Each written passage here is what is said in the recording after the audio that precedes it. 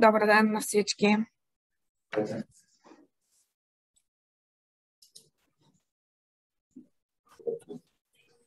Здравейте!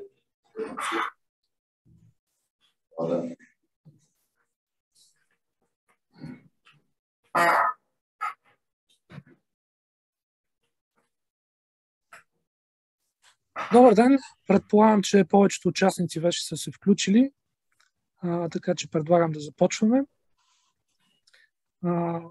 Казвам се Атанас Русев, директор на програма Сигурност и днес с моите колеги Тихомир Безлов и Мариан Събев искаме да ви приветстваме за това, че се отзовахте на нашата покана да се включите в дискусията битова престъпност и усещане за несигурност в малките населени места. През последните вече близо 20 години Центъра за изследване на демокрацията провежда така нареченото национално изследване на престъпността а, сред а, населението на България. А, като тази година за първи път поставяме един така силен акцент върху регионалните измерения на престъпността. А, това, което през тези 20 години с този наш инструмент а, а, установяваме, е, че а, е на лице един общ спад в престъпността, който се регистрира както от нашето изследване, така и от статистиката на а, МВР. А, и така, тая тенденция се потвърждава и от факта, че някакси темата за престъпността слезе а, така доста надолу в дневния ред на обществото.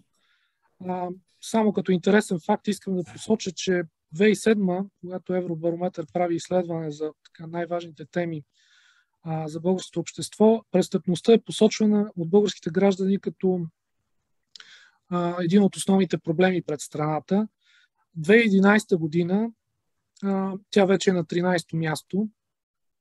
Същевременно обаче а, тази позитивна тенденция а, засяга, така се отразява по различен начин на регионално ниво а, и престъпността засяга българските граждани от различните региони и населени места в страната по различен начин. А, така, противно на широко споделяното мнение, че битовата престъпност е основно бич сред малките населени места, а, нашите данни показват по-скоро, че а, това не е така и засегнати са най-вече големите градове. Но от друга страна, данните показват и още така един любопитен факт, който бихме искали да обсъдим днес. А, тревожността, усещането за несигурност е много по-високо сред жителите в малките населени места. Как тези две противоречащи си по някакъв начин тенденции се обясняват, е, е въпрос, който така един чисто социологически инструмент трудно може да отговори. Именно затова ние провеждаме, това вече е поредното четвърто събитие а, в рамките на, на това наше усилие. Направихме едно такова в София, в Бургас, в Пещера, в Трояна е четвъртото поред. А, и насякъде поставяме този въпрос. А, как, а, как се обяснява а, този парадокс? Спадаща престъпност и въпреки това оставане на това високо усещане за несигурност от гражданите. Една от а, нашите допускания е, че част от проблема е недоверието към полицията. А,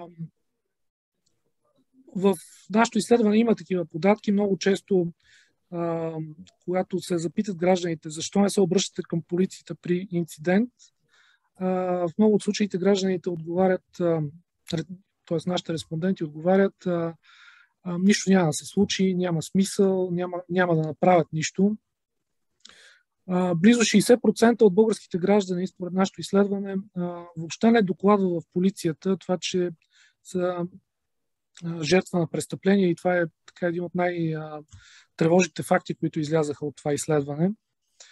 А, тъ, това е основният въпрос, който искаме да поставим и днес господин Безлов малко по-късно ще ви запознае с а, така интересни данни на национално ниво и съответно и а, някои така регионални измерения, които се отнасят за област Ловеч, а, съответно за Троян. а, и мисля, че те ще са така добра основа на днешната дискусия.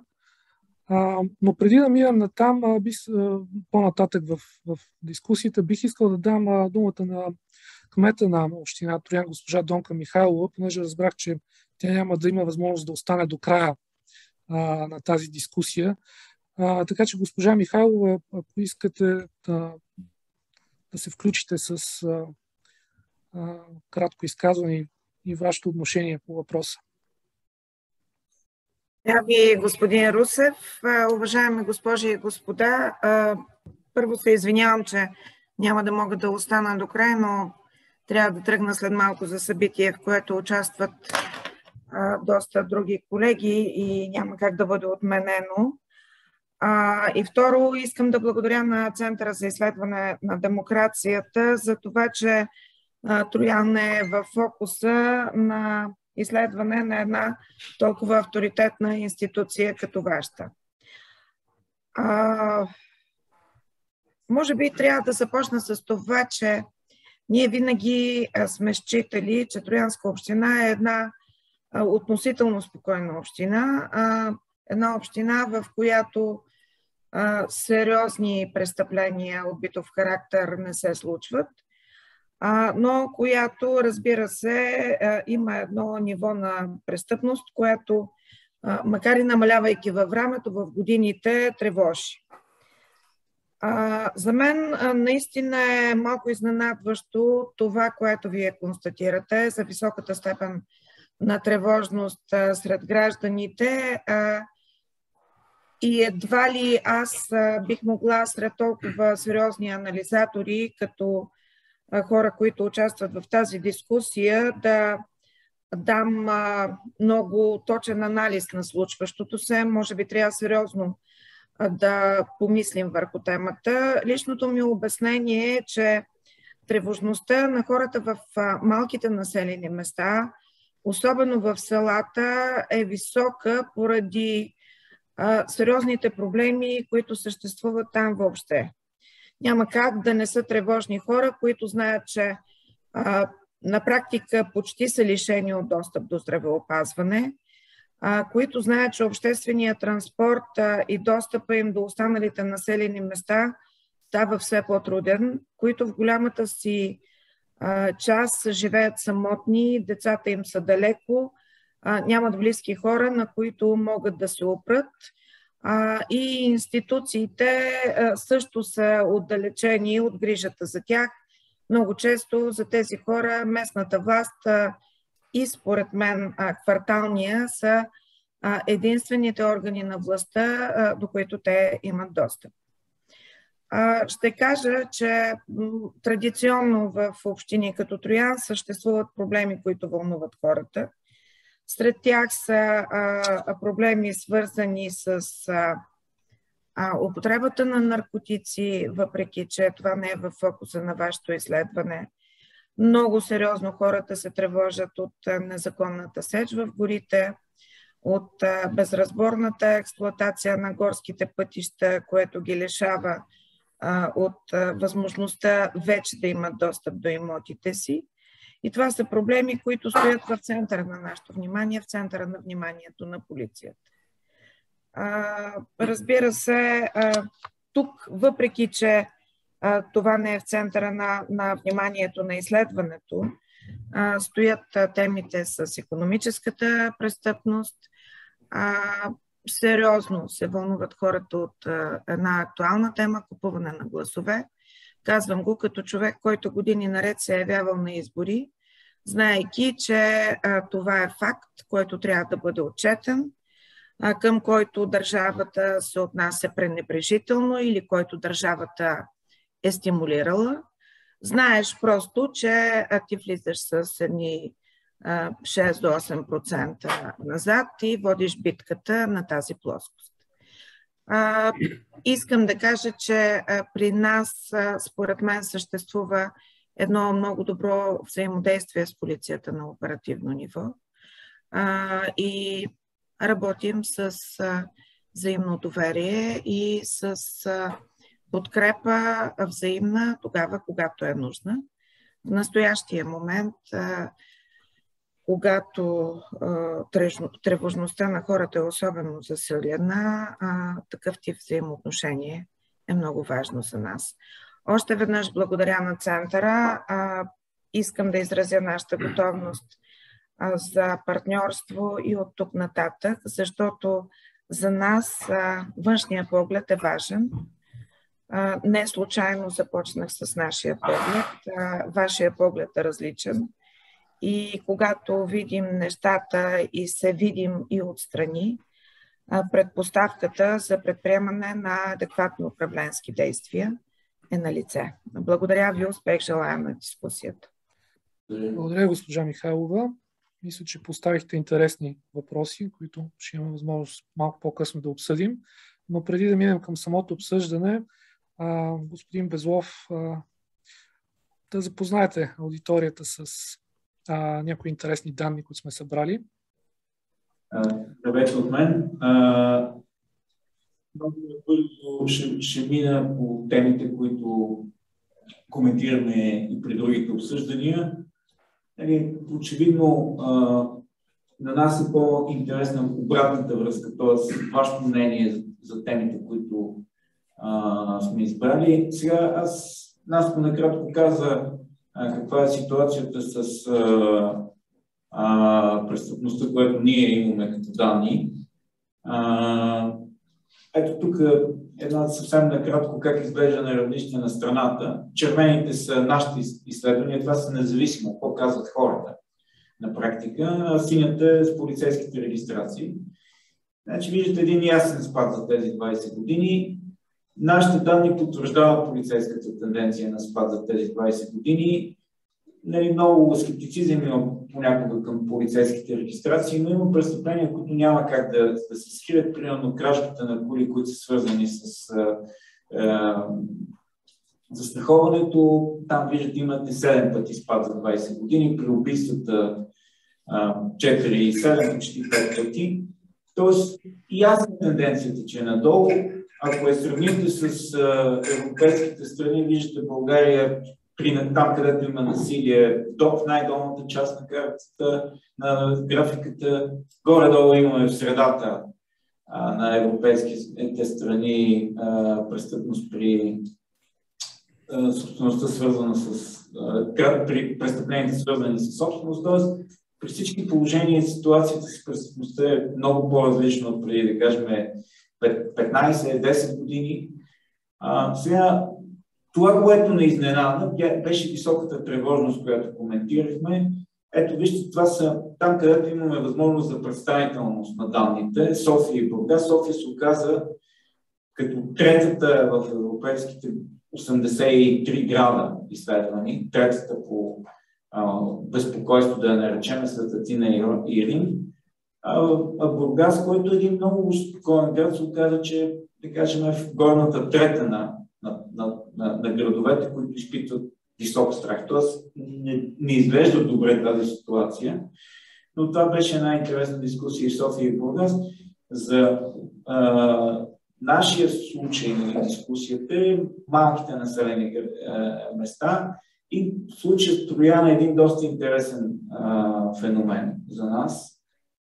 Вие знаете вашите данни за полицейските регистрации, но вижте по отношение на, на страха, нали, въпреки че престъпността не е толкова висока, като да кажем големите градове, в тези градове под 30 хиляди, в които попада Трояни и селата, тревожността е много висока и всъщност нашия въпрос е откъде идва тази тревожност. Ние имаме един отговор, надявам се на, нали, на в дискусията да кажете вашите, вашата гледна точка. Сега, ние направихме един индекс който, с който се опитваме да оценим на базата на полицейските данни къде, са различните районни управления. А, в страната има 179 районни управления. Торян се оказа в долната част на таблицата. Виждате 134 място от 179 за 2020. Малко се е качил спрямо 2019 нормалната година. Тези данни може да ги видите в детайли и Мариан ще ви разкаже накратко един сайт, който сме направили. А, ако погледнете Троян как седи спрямо Ловеч, нали, Ловеч, област Ловеч се оказана доста интересна област и имате а, районни управления, които са в първите 10 като Ябланица, например. А, и същевременно Троян е в долната част на таблицата. След, доколко това е вярно, вече е въпрос на, на дискусия. А, имаме следните проблеми, които ни се появиха. Значи, вижте, това е така наречено, това е нашето изследване вече. А, 12 престъпления за последните 5 години. Според тези данни област Ловеч е точно средата. Но ви виждате, че област Ловеч е доста различна като районни управления. Та тук по-скоро дискусията е склонът примерно по-различен Троян, Троянската община, с такива като Гърчини, като, като Ябланица. Пак им така ми е интересна вашата гледна точка, вашата позиция. А, това, което прави лошо впечатление от нашите данни за област Ловеч е много ниското докладване. Значи, то е почти наполовина спрямо средното за страната. Значи 20% са, са съобщили в полицията, значи 80% не са. Това е много висок процент. Говорим за област Ловеч, не говорим за Ториан, защото нямаме данни за, за Ториан заради извадките. Нали? Би било много скъпо изследване, ако се правят а, за, за всички области. Това наше, тези наши данни се потвърждават и от един нов индикатор, който се опитахме да направим е 112. Значи съобщено на 112 и след това регистрирано в, в полицията. Не нали, направихме такива съпоставки. А и Ловеч е на предпоследно място по съобщаване на 112. 112 това е хубавото, че е независима система от полицейските регистрации и да дава възможност за анализ. Ние затова използваме 112, защото се оказа, че и инспектората на МВР и вътрешна сигурност открили тази възможност да се сравняват данните. А, ето вижте сега как седат нещата за самата, мия, самото районно а, Троян. Това, което прави впечатление, госпожа Михайлова му обърна внимание, тези две неща. Примерно, проблема с наркотиците, очевидно имаме ръст точно в пандемичната година, в която други общини, примерно, които гледахме, да кажем, миналата седмица беше пещера, навсякъде има спад, тук има качване. След това с данните за наркотици е до някъде, престъпленията за наркотици е до някъде добре, защото това означава, че полицията работи, това е активно престъпление. Тоест, вие, ако работите, тогава го регистрирате. Това, което на мен ми се струва, че е проблем, обаче е, е престъпленията срещу горския фонд. Незаконния добив на дървесина. Тук имаме много неравномерни усилия, според мен, на равнище районно управление в Троян. Дали е така, вие ще кажете, но на мен ми се струва, че имате а, така, много рязък спад в тази пандемична година, много по-рязък от другите районни управления.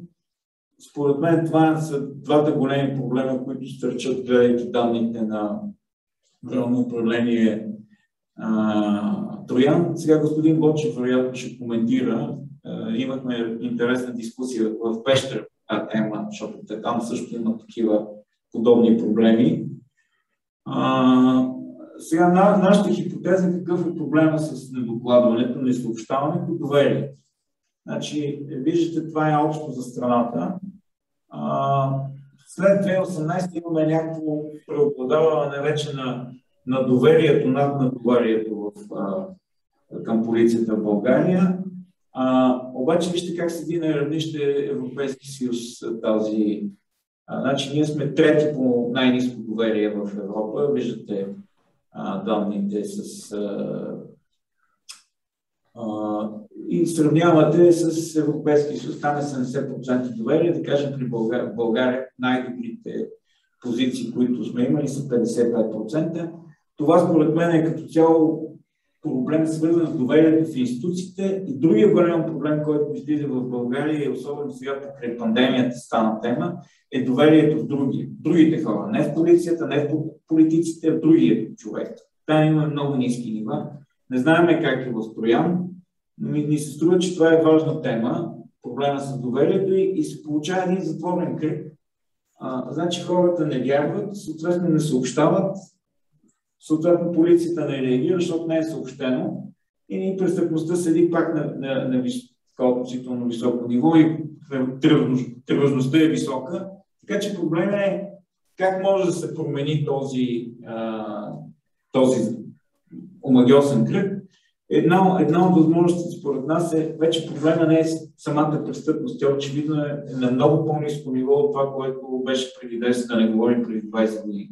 Проблемът е как хората нали, да започнат да докладват повече и да намалят безпокойството си, докладвайки повече.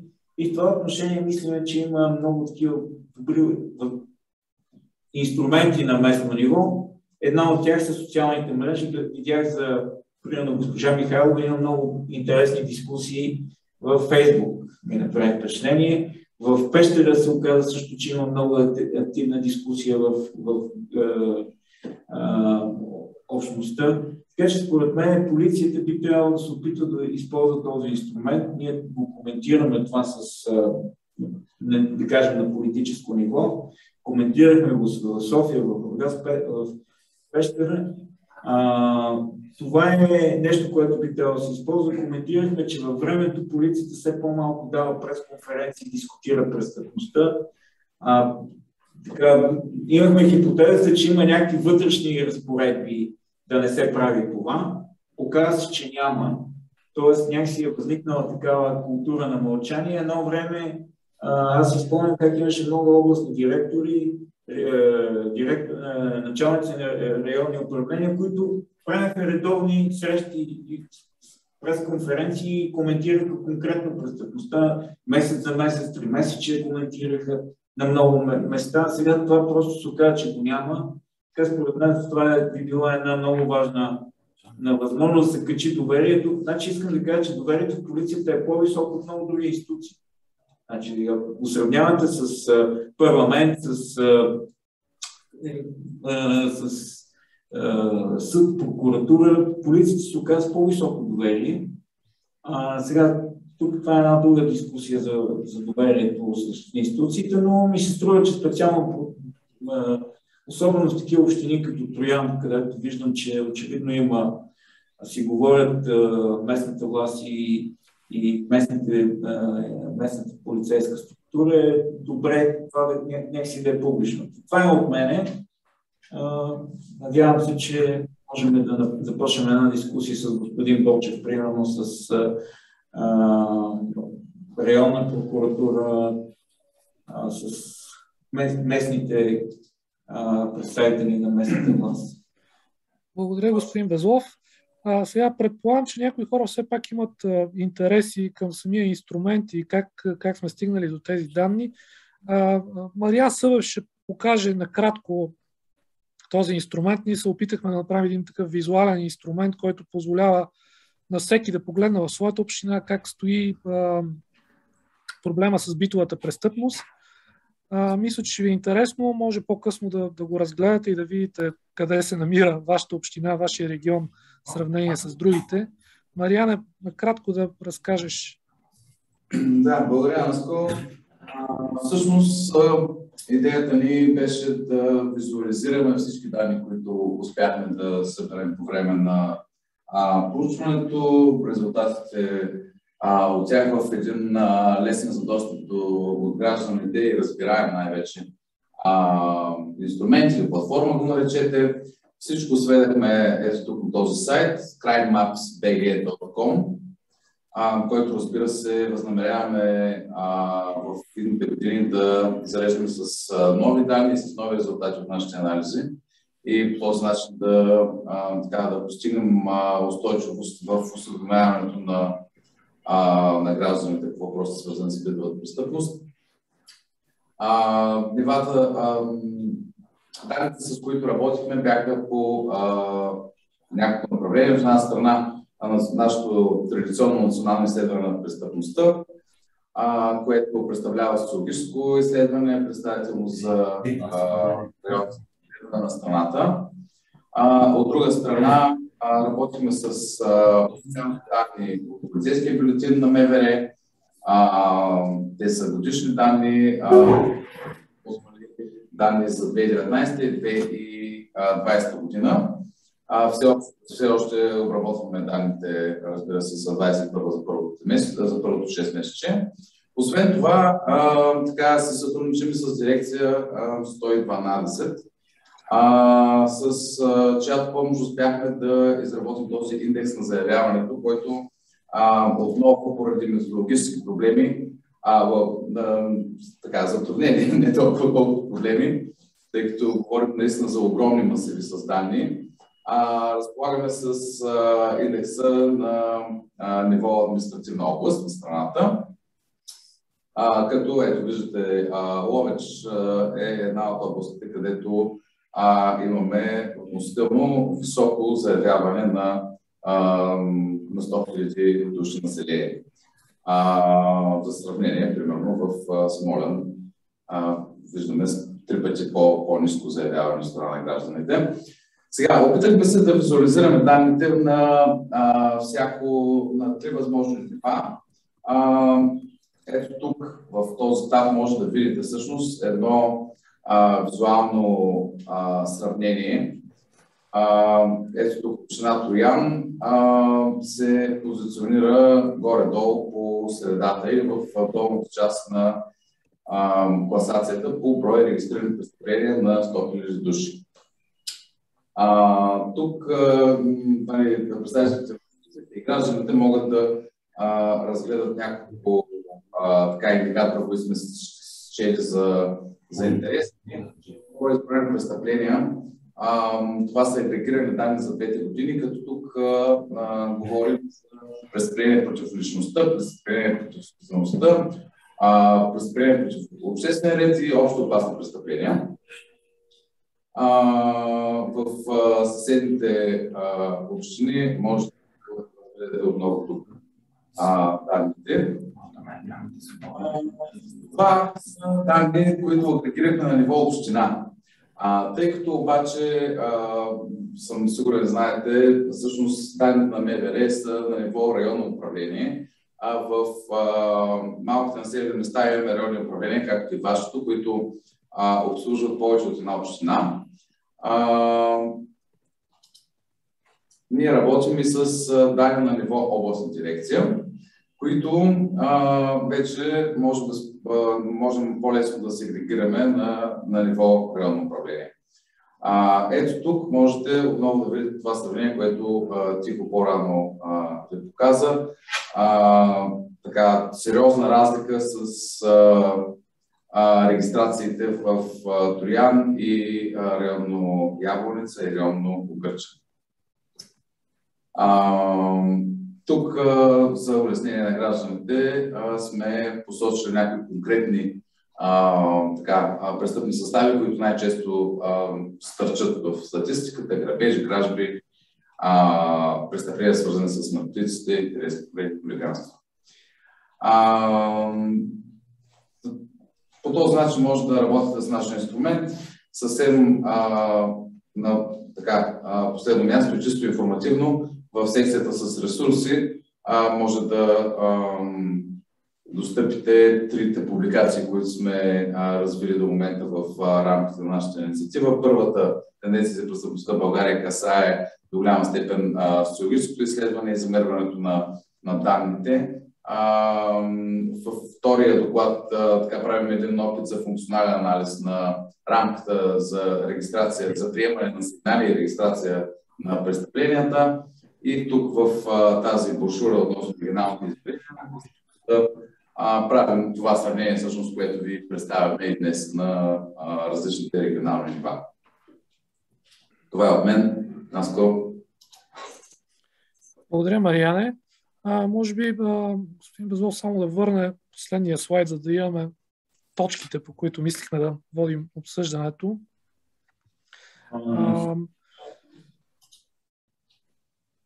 предполагам, че представителите на полицията биха искали на първо време да вземат отношение, понеже така, през, през цялото време а, се отнасяхме към данните за, за тяхната работа. А, говорихме за доверието към полицията. А, ще е интересно да чуем вашата гледна точка за, за община Троян, доколко а, погледа върху числата отразява реалността. А, със сигурност на терен нещата изглеждат различно. Здравейте, може да се включа? Да, заповядайте. Здравейте, Милен Бочи се казва, началник съм на полиция в Троян. А, като цяло искам да подкрепя думите на госпожа Михайлова, която смисля, че тя, което каза, може да отговори на всички тези въпроси, които в момента сме събрали за това недоверие. Аз не знам, не съм много съгласен с тази статистика за недоверието в при нас, че е такова, но вие казвате, че е такова, не знам.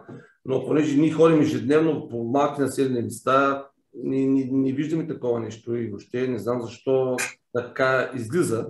Но както госпожа Михайлова казва, ако явно има такова някакво притеснителност на хората, е за това, че тези хора основно в тези малки населени места остават сами, няма тяхните роднини са или в града, или в чужбина и наистина единственият, който тя, тези хора могат да решат, е, това е кметския наместник или кмета и кварталният полицай, който е там, мога да кажа, че ежедневно. Аз мисля, че има много добро специално кварталните полицаи много добре всеки ден се срещат с тези хора и разговарят и ние помагаме не само за битова престъпност и въобще на тези хора помагаме от всяко естество, от самотно живущите хора. И някакси не мога да се съгласи с това, тази статистика, специално за Торян. Но не знам защо така да се получава. Ами, а, то е важно все пак да, да отбележим, че а, това а, не са, не са данни за самата, за самата община. А, предвид методологическите ограничения и големината на извадката, данните, които а, ти посочва в презентацията, касаят а, област Ловеч и район на планиране. Ние ще се постараем а, така, а, за следващото проучване да на, направим фокусни извадки в а, така, райони, които наистина смятаме, че си да заслужава един по-задълбочен поглед в този проблем.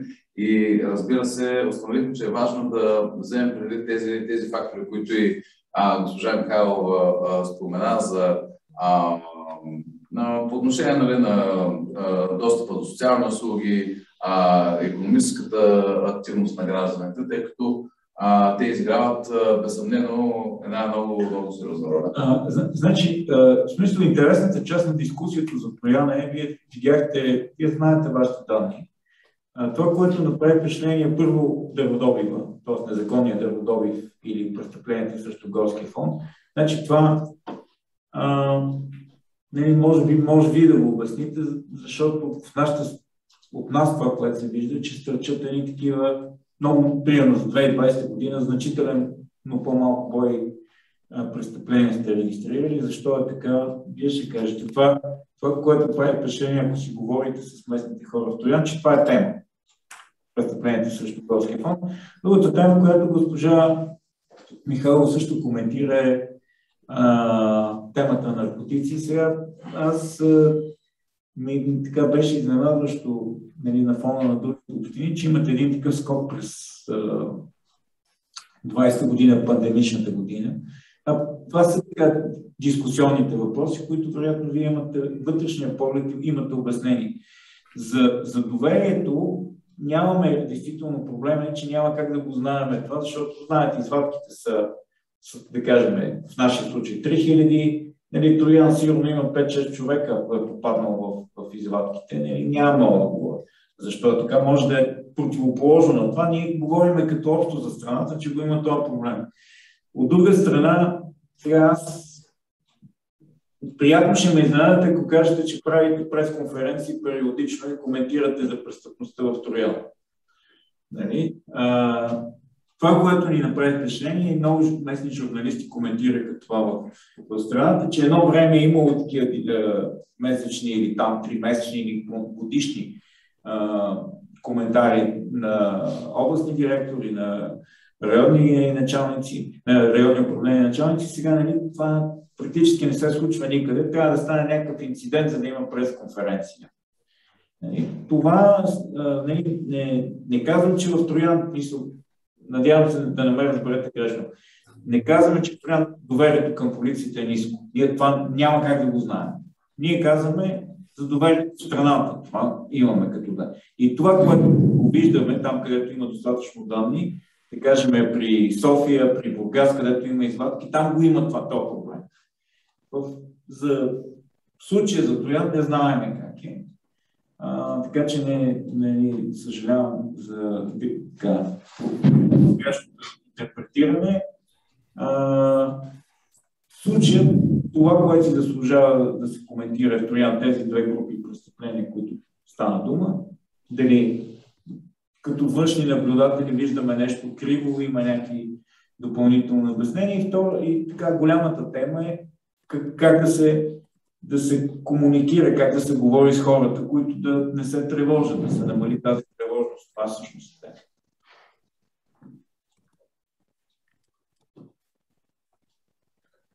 Не знам, господин Бочев, дали... Да, да, ще, ще взема отношение. Първо относно... Да, значи ние се надявахме да е наживо това, но виждате, да, да, да. зависи от нас тази ситуация. И за, съжалявам, че този начин на общуване, нали, но е, все пак нали, ще получим обратна връзка. Нали, затова а, така се надяваме на така, честното говорене в тази дискусия.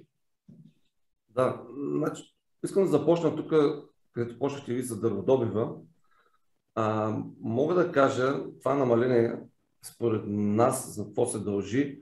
Ние имаме изключително добро взаимодействие с РДГ, ДГС, ежедневно, мога да кажа, ежедневно с тях правим съвместни е, полицейски проверки, спираме на камиони, контрол е на изключително високо ниво при нас. Не знам другите районни как е и защо е, но може в Троян това да се види на място на живо. Всеки ден извършваме проверки на тези камионни транспортни фирми. Аз не вярвам някой дали, въобще как се позволи, дали ще могат да се позволи някой да направи някаква нещо пред такава контрол и проверка. Сигурно си има. Дали съм мисълта, че няма такива нали, нарушения и престъпления, но контролът не е изключително на високо ниво.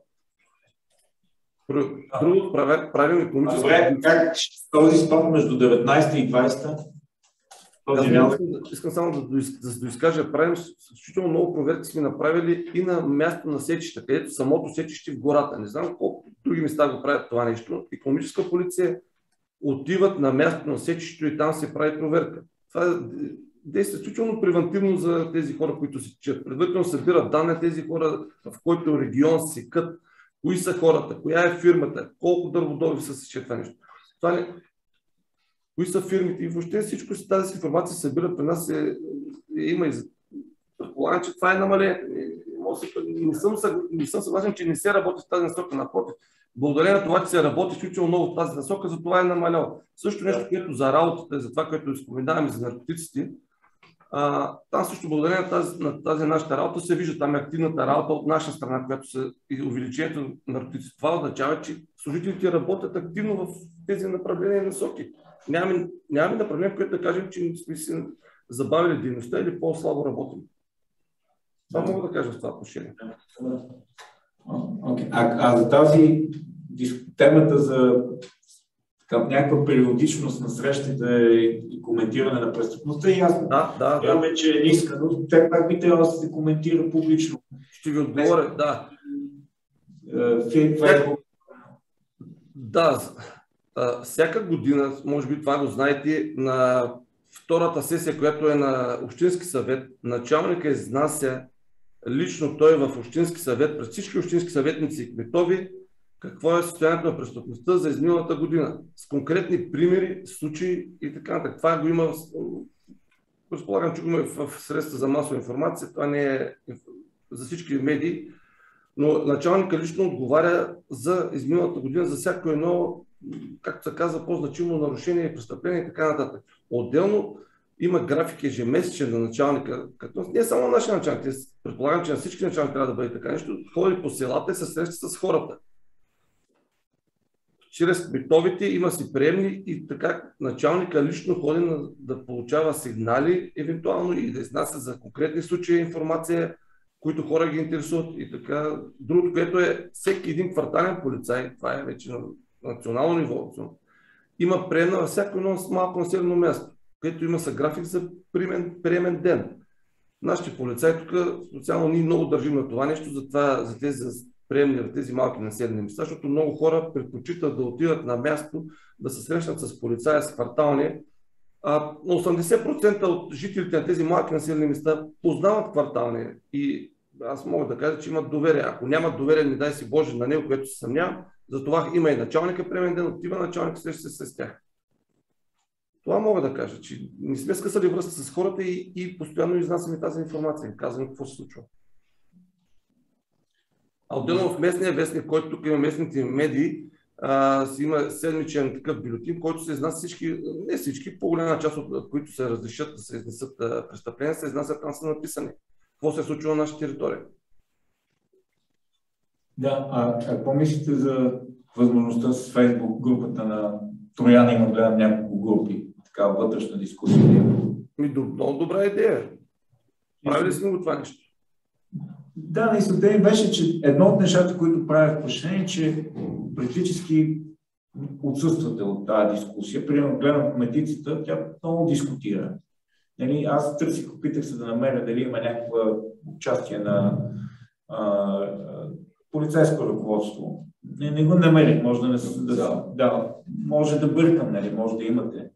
Ако просто казвам като възможности, които са възникнали, а, на някои места гледам в страната са се появили някакви усилия да се ползва, примерно София, тук там е, а, но като цяло нали, има един такъв, нали, срещнахме и така лека враждебност, като коментирахме тази тема. Те каза, ние ги наблюдаваме, ваши колеги казват, ние наблюдаваме а, тези групи и участваме внимателно.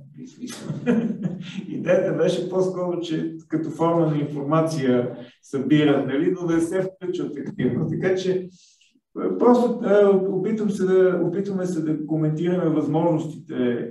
Нали, аз съм съгласен, че а, вероятно вие правите добро впечатление, гледайки данните, имате такива колебания, които показват, че не подреждате данните като че ли. Защото на други места, като се направят анализ на равнище статистически данни, примерно както с Софийските районни управления, там има проблеми, има, изглежда, че има едно изглаждане изкуствено, но това е друга тема. При вас като че ли така, данните са достатъчно рошеви и като че ли няма, нямаме това подозрение за, за изглаждане на данните, както им викаме с полицейски филтри. Но това е нашето впечатление, което отстрани. Колко местните хора ще кажат, ми е интересно, ако има примерно наместници на равнище села, кметове ми е интересна позицията им. Не знам дали са включили в...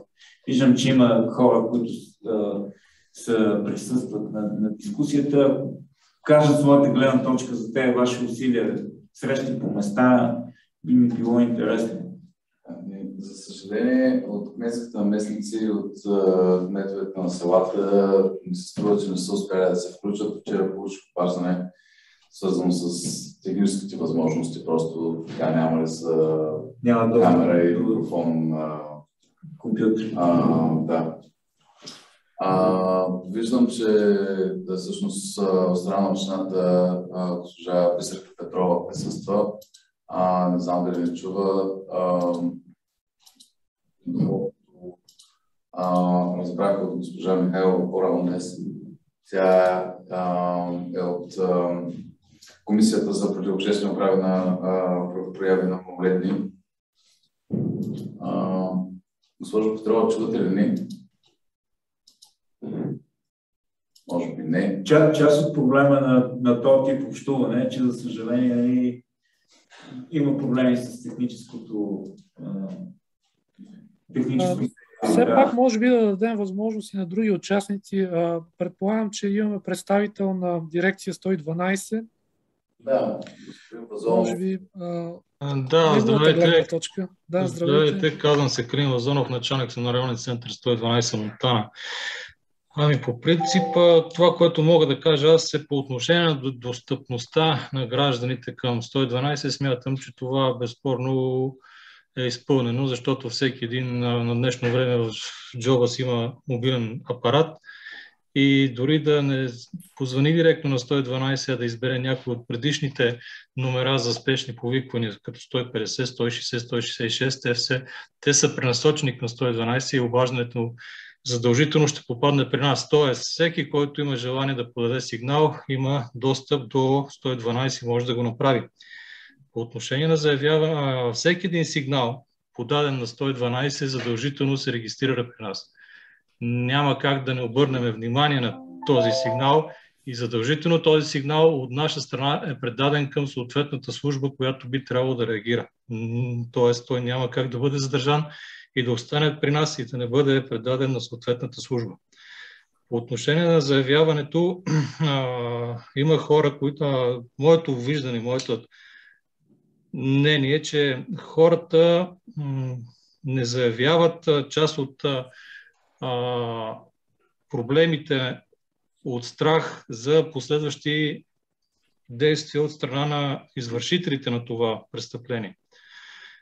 А, какво визирам? Визирам, примерно, сигналите за наркотици.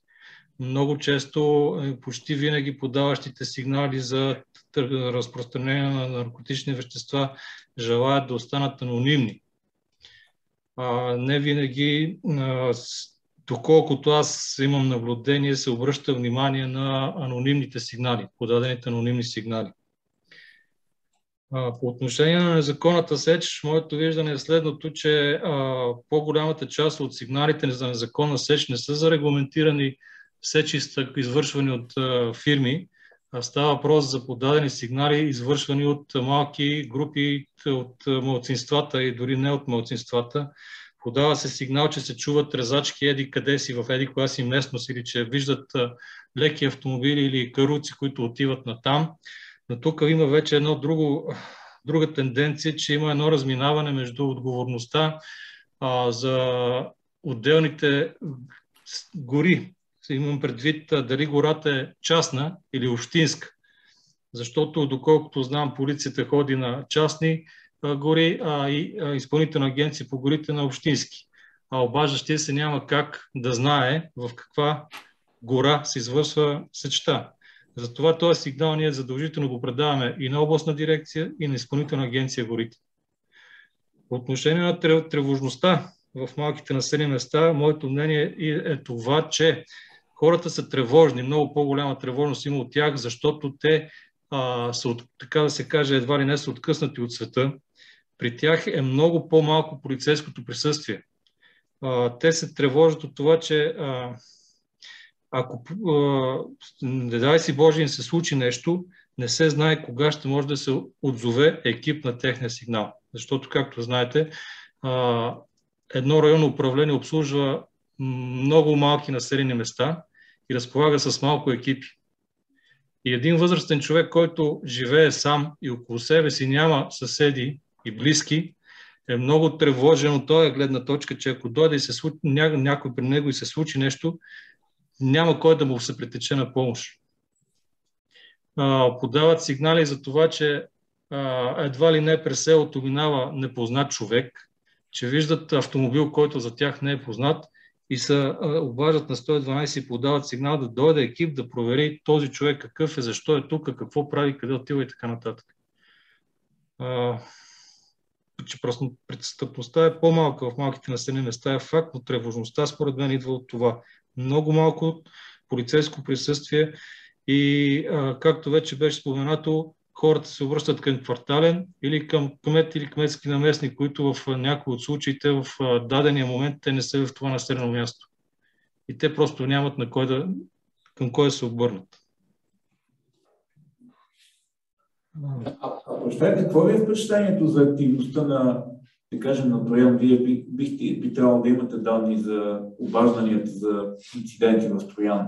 Говорим криминални инциденти. Значи от област Ловеч, Троян, качели, според мен е от общините в област Ловеч с най-малко подадени сигнали като, като престъпност. Да. Аз бих визирал повече за Луковец, за Огърчин. Това да, според мен са общините с повече подадени сигнали към 112 по отношение на престъпност, отколкото Троян и Тетеве.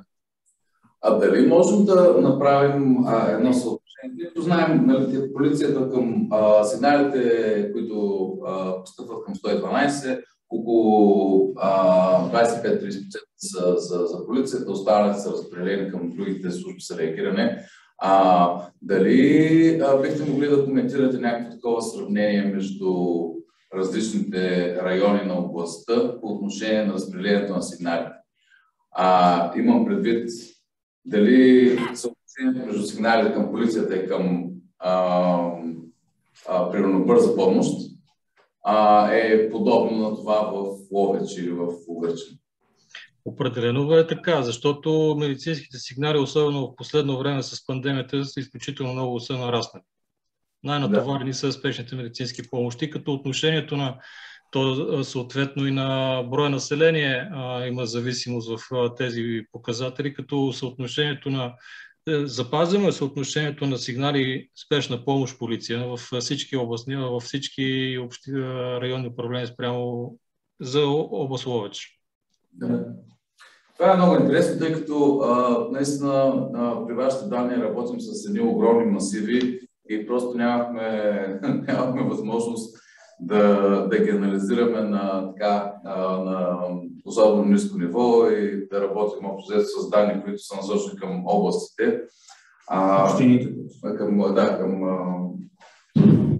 а, общините, районните управления. Районни управления, там нямаме, нямаме данни. Е интересно да се, да се, да се разгледа по-подробно. Ние всъщност установихме а, и а, една разлика в методологията на получаване, на регистриране на сигналите и тя е свързана с една от препоръките ни за използване на а, телефон 112 като втора мрежа.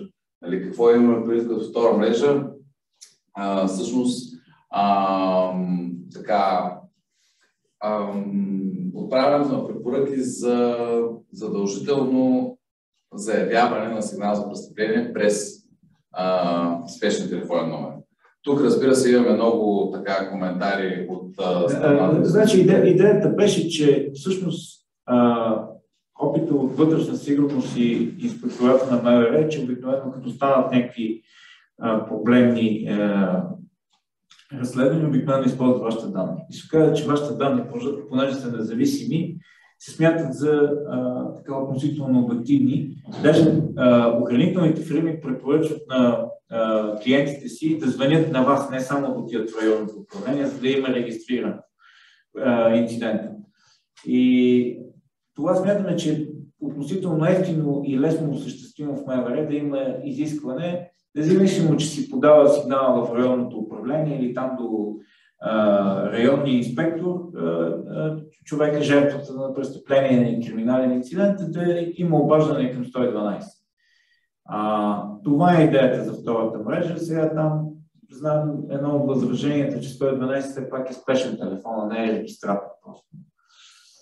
да, има го и този. По принцип има много обаждания, които са на базата на това. Аз вече ходих при районния или еди къде си съм ходил, разговарял съм с служител на полицията, но те ми казаха да мине и през вас, за да бъде регистрирано. Да, така е.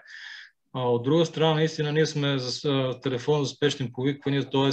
за инциденти и събития, които се случват в момента, за а, минало събитие, което е случило се нещо, но вече нито един извършител, нито другия и потърпевшия са на, на мястото, един си отишъл, други си, в момента нищо не се случва. На този сигнал няма да бъде изпратен екип, защото и да отиде на мястото, няма какво да констатира. И в този случай се насочват за, към а, полицейски инспектор или към районно управление за подаване на писмен заявителски материал. Наистина, а, в този случай а, ангажира се в момента оператор, който, от който в този момент може би някой друг с наистина спешен сигнал има нужда. Но, до, този, но никога не е отказан сигнал, който е подаден на 112 да не е регистриран. Дори това, което се практикува в районен център Монтана е всеки един сигнал, който е към, а, като, класифициран като консултация, т.е. не изисква изпращането на екип към този момент, този сигнал, този а, инцидент да бъде изпратен към областна дирекция полиция, т.е. дежурната част в областна дирекция полиция за тяхна информация и реакция по тяхна преценка. Защото реално погледнато, дори да не се случва нищо в този момент, те са хората, които си познават така наречения контингент и биха преценили дали би последвало някакво последващо действие от страна на единия или на другия. и те са хората, които преценяват дали трябва да реагират, за да предотвратят такова действие. И те са хората, които знаят в този момент къде, му е, къде се намира екипа, който би могъл да се отзове и може да се отзове в този момент. Затова всяко едно нещо се изпраща, ако не за друго, поне за информация към дежурната част. Дали още някаква друга гледна точка за Троян бихме могли да, да чуем, примерно прокуратурата има така различна позиция, може да сравнява районните управления, как изглежда Троян на, на този фон, дали някой Дали... Ами, прокурор Георгиева, виждам, че е на линия, не знам дали... Ви чувате ли ме? Явно има проблем с видео. Аз съм прокурор... Да. Да, чуваме. Аз съм прокурор районна прокуратура Ловеч, териториално отделение Троян. От година и половина работя с, специално на, с районно управление в Троян. Преди това съм била 3 години в голям град в Плевен и мога да направя и една друга, така имам една, един друг лично професионален поглед за ситуацията специално в Троян.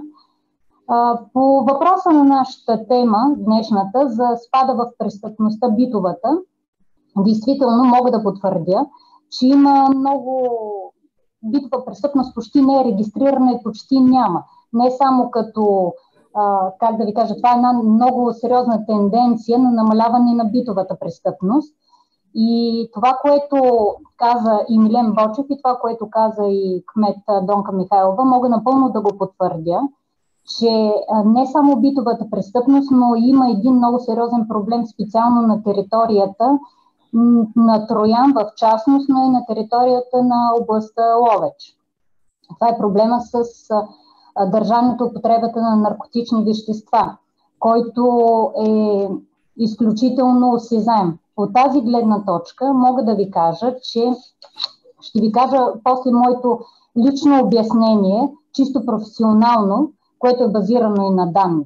Значи, първо, действително, относно битовата престъпност, мога да кажа, че спада, за да не преповтарям до сега, до момента, което се отговори, освен мога да кажа, че голямо значение за раз, голямата разкриваемост и по принцип изпадане като цяло, от една страна чисто моето обяснение голямото добро видеонаблюдение, което е изградено с помощта на общината в което обаче в районното управление на Троян те имат директен достъп. Това е нещо, което смятам, че е изключително важно, което примерно в Плевен го нямаш.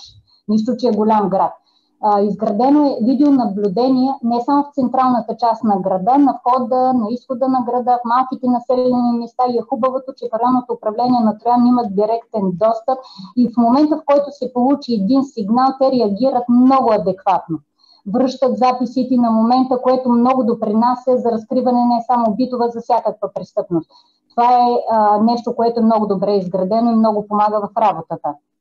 Сега, а, искам да отбележа, че като цяло и а, чисто мога да направя нали, смисъл като прокурор, мога да направя сравнение това, което съм работила с една голяма област в Плевен, където битовата престъпност е изключително висока. В Троян действително няма битова престъпност.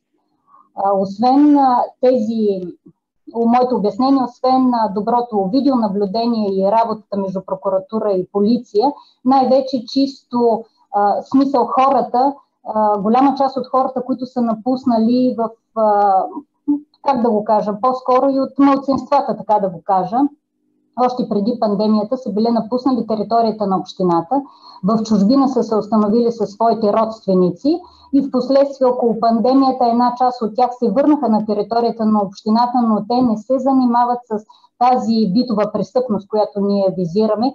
Те по-скоро се занимават с нещо точно с разпространението на наркотични вещества, което е изключително голямо на нашата територия, т.е. това, което е доходоносно. Защото това е а, разпространението на наркотични вещества, специално метамфетамини, е нещо а, много доходоносно и ми прави впечатление чисто статистически, че вече започнаха с разпространението на такива наркотични вещества, а, метамфетамини, да се занимават дори много често лица, които не са осъждани към момента, с чисто съдебно минало. Много са като възрастовата група смисъл спада младежи, не само употребяват, но и разпространяват, за да могат и да употребяват. И а, младсинствата се занимават също с наркотиците, както и а, вече има една група в а, Троян, която точно чужбина е била, голяма част от тях са установили, освен с наркотици, те са пренасочили към склоняване на а, малолетни, непълнолетни към а, проституция, за което да ви кажа, че аз лично имам в момента едно дело, което е внесено с обвинителен акт в съда. Те са няколко фамилии, занимават се. Българчета са хванати момичета, които са склоняни към проституция. Това е голям проблем и почти не беше работено по този въпрос. Когато започнах аз да работя и да като наблюдаваш прокурор, почти съдебна практика нямаше в тази насока. По-скоро само за трафик на хора, но не и склоняване на хора към проституция на територията на на България, както е. Та, мисълта ми е, че а, от тази гледна точка битовата престъпност е намаляла, но за сметка на това става една тенденция на увеличаване на нещо по-страшно, а именно разпространението на наркотични вещества, което са засегнати младото поколение, в което разпространение участват и хора с висше образование, Нали, също мога да си позволя, понеже съм наблюдаващ прокурор по дело, лице, което е с много високи доходи, с висок стандарт на живот. Говоря за болекар. Той също, примерно, разпространява наркотични вещества. Към настоящия момент не е задържан в следствения арест по едно дело. И това е една тенденция, която а, как да ви кажа, това е изключително не само разпространението на наркотични вещества, но тяхната употреба и управление на моторни превозни средства след употребата на наркотични вещества. Това са основните престъпления, които аз за година и половина като прокурор тук мога да ви кажа моето обяснение защо е така. Значи, освен което нали, споменах, че между прокуратура и полиция в интерес на истината в районно управление Троян работят добри професионалисти, много добро сработване има между прокуратура и между полиция. Не само, че вече ние се опознахме а, чисто нали, вече професионално, може би това допринася малките а, населени места и работим постоянно с едни и същи хора, докато примерно в Плена работих с 7 или 8 ранни управления и почти не познавах с хората, с които контактувам. Освен близките отношения, които а, се познаваме, допринася най-вече има една добра тенденция не само в досъдебното производство, докладите, които полицията за всяко едно докладите, които са задължителни за хода на разследването, преди привличане на лице, за предявяването на материалите, изключително тук много стрикно се спазва, което означава един сериозен контрол от страна на прокуратурата за законосъобразност на провежданото разследване, като целта е да имаме а, внесен обвинителен акт и съответно респективно осъдителна пресъда. От друга страна и на етап проверка мога да ви кажа, че моите наблюдения, специално полицията като цяло работи много добре. Но и много са изпълнителни, професионалисти са и са много изпълнителни. Но тази, това, което споменахте, че във вашите изследвания има едно усещане за несигурност нали, в полицията. Моето обяснение е, предполагам, че е така, ще ви кажа защо, нали, чисто моето обяснение, но също ще го така подкрепя с факти. Усещането за несигурност, освен това, което казаха говорящите преди мен, за да не се преповтарям, може би е свързано и като цяло с една несигурност и последните месеци, вижте, в, като цяло в всички държавни институции. Мисля, че това е една обща тенденция, но лично моето мнение е, има значение, не знам на вас как да звучи, но това е факт, има значение изключително, особено в една такава структура като МВР, началника на районното управление. Докато прокурорите, всеки от нас има самостоятелност и си решава по съответното дело. Нямаме тази не толкова централизирана системата. В самото МВР началника като личността му е изключително важна. В контекста на това ще ви кажа нещо много странно за мен. Когато работих в Плевен до 1 юли 2020 година прокурор, всяко трето-четвърто дело, освен битовата престъпност, беше задържане на наркотични вещества. В момента, в който дойдох в Троян от 1 юли 2020 година прокурор до 8 март 2021 година, т.е. това са 9 месеца съм ги сметнала, аз като наблюдаващ прокурор, като Племен сме може би около 40 човека прокурори, 30 и няколко човека, в Троян в един момент сме само 4 прокурори, за тези 9 месеца аз като прокурор, това може да бъде проверено в районната прокуратура Ловеч, нямам нито едно, не съм наблюдаващ прокурор по нито едно дело за държане на наркотични вещества за 9 месеца. И на мен това ми беше много странно, защото в контактите ми с граждани, аз съм родена в Троян, но не съм живяла там дълъг период, с контактите ми с граждани са ми споделяли, че това е голям проблем, особено с децата започнахме много по закона за... Много деца употребяват. По закона за здравето много деца са вкарани буквално в психиатрията, точно след употреба на наркотични вещества, метамфетамини, които на територията на Ловет чисто оперативно се главно така нарече, се произвеждат тези метамфетамини, произвеждат нали, кавички. И в този смисъл се вижда една масова просто са поразени младото поколение от наркотиците. Действително аз за 9 месеца нямам нито едно дело като наблюдаващ прокурор за разпространение или за държане на наркотични вещества. Това беше периода, в който началника на районното управление Радостина Петкова, тя е била 5 години, доколкото знам, е била началника. Нямаше нито едно регистрирано в действителност хората, регистрирано за мен, Гледам, че и колегите имаха и да имал някой, но ви казвам, фактите могат да бъдат проверени, защото те са обективни и са в прокуратурата. В момента, в който Радостина Петкова беше отстранена от длъжност и беше назначен Ивайло Славков, веднага една тенденция на повишаване на регистриране на тези престъпления от 8 март към настоящия момент аз имам, може би, всяко второ, трето дело при мен вече е само задържание на наркотици или управление след употребата.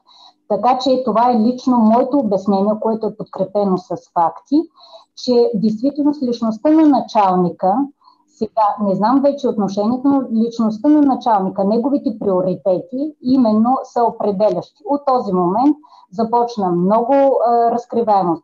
И си мисля, че недоверието, ако има от полиция, е именно свързано главно с родителите на тези деца, които са употребяват наркотици, защото голямата част от тях са около училища или там заведения.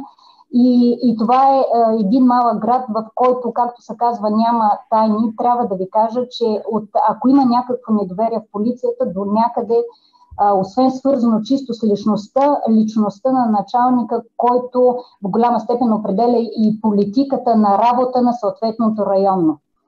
А, още един път повтарям, че действително са професионалисти, много добре се работи с а, всички полицейски служители в районно управление Троян. Лично аз съм а, предлагала многократно много от тях да бъдат награждавани точно заради изключителните способности и умения, но това умишлено според мен е било и потискано. Ако имало някакво недоверие според мен, лично от моите разговори с гражданите е свързано точно с личността на началника.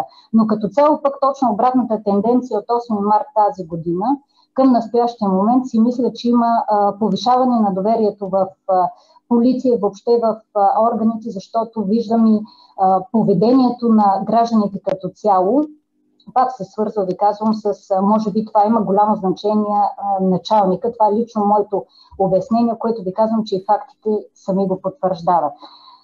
Също мога да потвърдя, което заяви Бочев, за, специално за незаконната сеч. Действително, не знам как и на другите места, защото в Плевен те нямат такава незаконна сеч, но специално в Троян за незаконната сеч действително се извършват проверки дори на етап още проверка на място на сечещата, не на самото досъдебно производство, а преди да бъде нали, образувано до съдебно производство, се извършва на място проверка на сечещата съвместно между районното управление с ДГС Троян. И това е към, ако имате ви някакви други въпроси, това е лично моето обяснение за недоверието, респективно за спадането и ако така мога да едно предложение, вие се знаете, но според мен проблема за наркотичните вещества, които строяни изключително голями на територията на Лович, но и на други места, може би една специална дискусия в тази насока ще бъде много по-полезна. Благодаря. Благодаря ви. А, а имате ли впечатление дали имате имотни измами в общината на Троян? Като все пак направи впечатление, че на, така, там където има курортни а, курортен интерес към курортите районни управления, че има такива случаи. При, при вас има ли като цяло не. Няма. За измам въобще, въобще като престъпление много рядко, ако бъде регистрирано и като цяло няма. Да, А, а дали а, а, някаква друга гледна точка, гледам, че господин а, Донков е, а, Дочев е тук. Инспектор Дочев, здравейте, чуваме ли се? Явно не. Кой, кой, кой търсите? А, инспектор Дочев от а, главна дирекция, тъй като прокурор да седна а, темата с а, доверието и, и контрол. А, но изглежда, че не е на линия в, в, в момента. Ако може да кажа нещо само тук. Разбира се, разбира се. Подкрепя прокурор Снежа Георгиева. Това с камерите, с видеонаблюдението, което казах, тя е абсолютно вярно. Аз пазих се накрая, но това тази система, която сме направили за видеонаблюдение за града, центъра, с малките населени места, абсолютно много е полезно за нашата работа, отделно и превентивна дейност, по-голяма част от тези хора, които имат намерение да извършват нещо, по-голяма част ги знаят, че има такова видеонаблюдение и предполагам, че не смеят да го направят. Но дори да стане случай нещо, ние веднага на момента реагираме. И е много голямо значение има превентивната дейност камерите. Страхотно. Да попитам за Троян, ясно, че има видеонаблюдение за малките населени места. Казвате, че при малките населени места има видеонаблюдение. Да. Аз гледах, че в Троянска в Троянски като община. И нещо 18. 18, да, нещо такова. Моля? Малките населени места. Села. Да. При тях имате ли Ами, почти, почти, почти във всяко на 90 на 90% във всяко едно малко населено място имаме камери за видеонаблюдение. Говорим 95%, 90-95%. Да. Което това е това е много хубаво нещо за нас и въобще и за хората, предполагам. Да, да, така е. Те, вие си ги наблюдавате. Моля? Вие си ги наблюдавате при вас за центъра, не е в а, общината и примерно да има едно такова забавяне на сигналите в това нещо. Не, не, директно ние си ги наблюдаваме. Това е това нещо е изградено благодарение на общината, е изградено нещо при нас. при вас И общината могат да наблюдават и при нас, при получаване на сигнал, директно първото нещо е сега не знам кой гледа тази сесия в момента и не знам до каква степен мога да говоря, но това е да работи да, превентивно.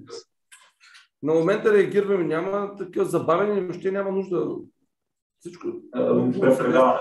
Това беше въпрос. Ами, аз си мисля, че да не отекчаваме до излишно хората, мисля, че така получихме една добра обратна връзка а, и от гледна точка на полицията, от гледна точка на прокуратурата и разбира се на от гледната точка на кмета. Така че а, се надяваме, че ще, така, ще продължим да дискутираме темата с престъпността в малките населени места и такива живи градове като, като Троян. А, и да приключим с а, дискусията за днес. Благодаря ви много за отсъщността. Приятен ден на всички. Довиждане и. Приятен ден.